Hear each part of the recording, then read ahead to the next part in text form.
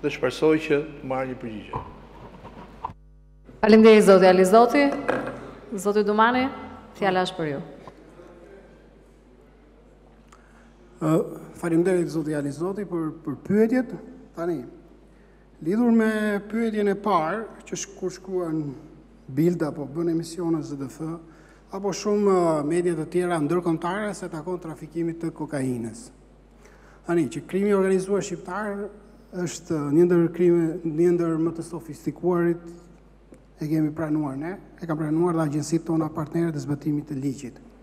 Por, por, por, hetimet tona tregojnë që e para, grupet shqiptare janë në kontakt të drejtpërdrejtë me kartelet e trafikut të kokainës në atje ku prodhohet kokaina. Dhe e dyta, portet e preferuara nuk janë portet shqiptare. Janë pikërisht ato të Gjermanisë që ju përmendët, janë portet e Belgjikës, portet e Holandës, portet e Italisë, tashmë edhe portet e vendeve nordike. Grupet kriminale shqiptare synojnë trafikimin drejtpërdrejt nga vendet e Amerikës Latine në portet europiane. Atje pastaj ku është edhe konsumi i madh i kokainës. Tani, ju pyetët a keni marrë një hetim drejt karteleve të drogës. Tani, unë nuk mund të përgjigjem me këtë pyetje, por në raport gjeni të dhëna që ne, prokuroria e posaçme, ka vendosur kontakte me pothuajse gjithë shtetet e Amerikës Latine. Patjetër, po koordinohemi edhe me agjencitë e vendeve të Bashkimit Europian, por po ne kemi drejtpërdrejt kontakte me agjencitë e homologe në vendet e Amerikës Latine. Kemi komunikime me ta.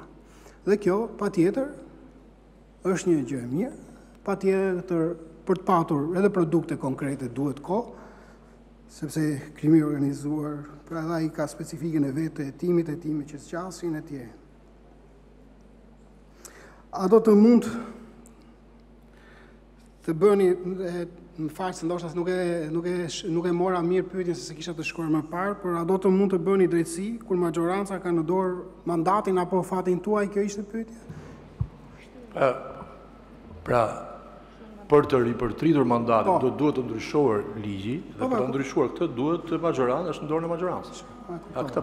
E pa, e pa, e kuptova. Po e para ne jemi organ E ne jemi, ne jemi e para ta vazhdoj përgjigjen lutem.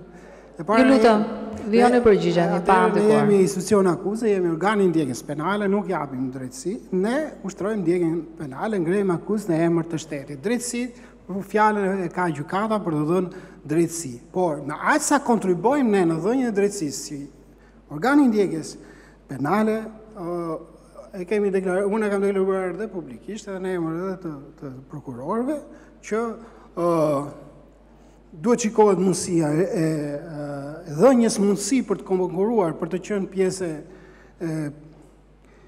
e prokurorisë së posaçme edhe pas mbarimit të mandatit 9 vjeçar, por por Të garantoj që nuk jemi të kushtëzuar në veprimtarinë tonë, na u zgjat mandati, nuk na u zgjat mandati, kështu që vazhdojmë të punojmë të qetë, sepse, sepse uh, unë mendoj, kjo edhe ky ish mendimi im personal, edhe 9 vjet të jesh përfaqësues i prokurorisë së posaçme, është një nder dhe uh, mjafton 9 vjet besoj edhe për t'i shërbyer uh, institucionit Është një është një është një nder dhe është një rast që të shtohet në karrierën tënde profesionale si prokuror. Po patjetër kam një dhjetëra argumente të cilat i kam bërë prezent pse mendoj që prokurorëve të prokurorisë së posaçme duhet t'u njihet e drejta apo mundësia për të rikandiduar pas përfundimit të afatit 9 vjeçar. Në vlerësimin e institucionit tonë, ato argumente qëndrojnë, nuk na takon ne ta zgjidhim këtë situatë, i takon ta zgjidhë Kuvendi i Republikës së Shqipërisë.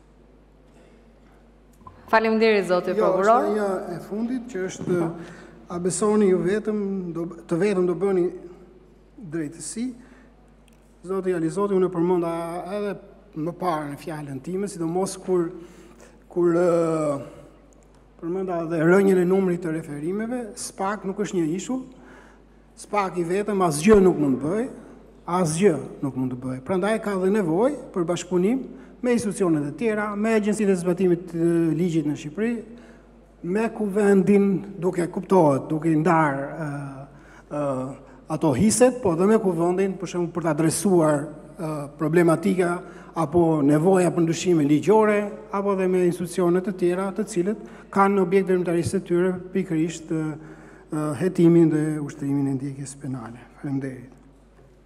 Faleminderit dhe një herë zoti prokuror, faleminderit për të gjitha përgjigjet e dhëna në këtë seancë të gjatë pyetjesh. Mund të vijoni. Uh, suksese.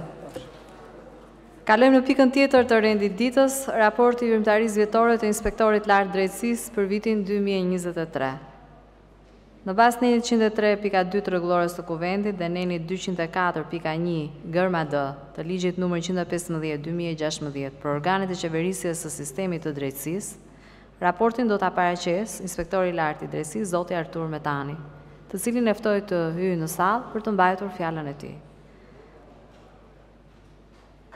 Faleminderit zoti Metani.